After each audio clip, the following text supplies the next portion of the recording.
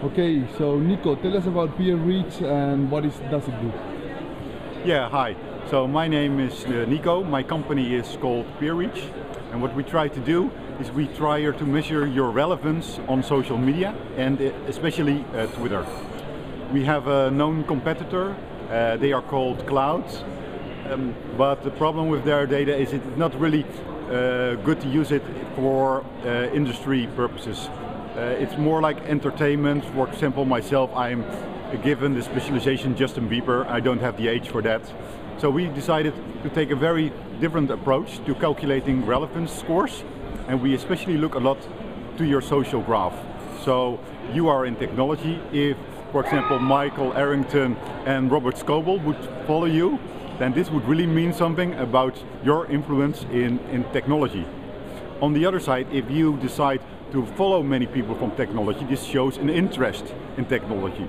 So this is data that even people that tweet very little have available, because even uh, those people will follow 50 or 100 people.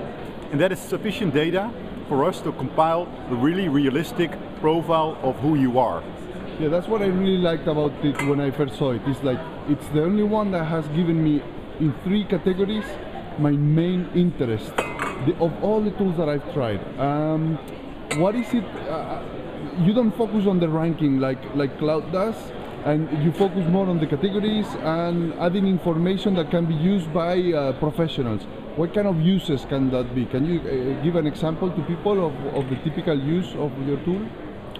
Yeah, so let me give one example. Um, if you are uh, a company monitoring traffic on social media and there are uh, 10,000 of people, uh, then you want to know uh, are there any journalists there or are any people from a uh, other topic that you are interested.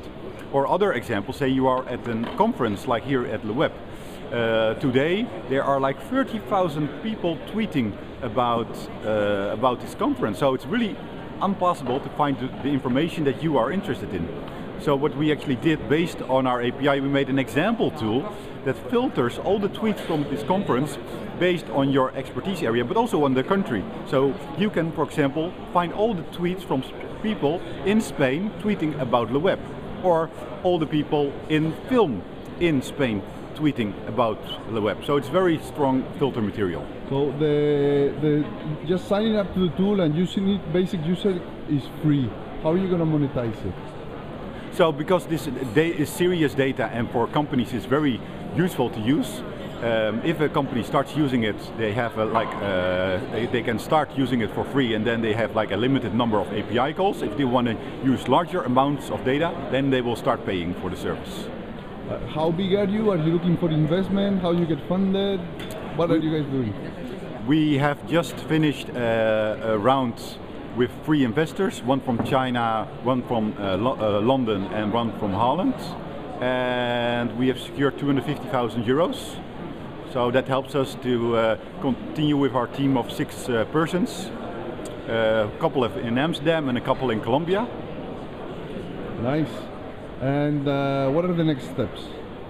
The, um, the next steps are to, first of all, add more expertise areas. If you go to PeerReach now, you will see 12 main topics. So you want to make uh, lists for every specialization. Um, for example, we would make a, for particular Spanish topics, would, we would make a specialization too. And the choice of topics is human. What, what does the human, how do the human and the machine interact?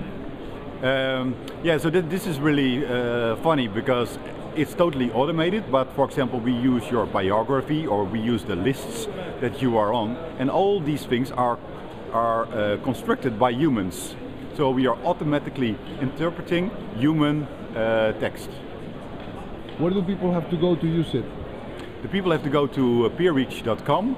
We will then ask you to sign in with your uh, Twitter account. You don't have to worry, we won't put any tweets or whatever. It's just for us to be able to get your friends from Twitter and to analyze your data.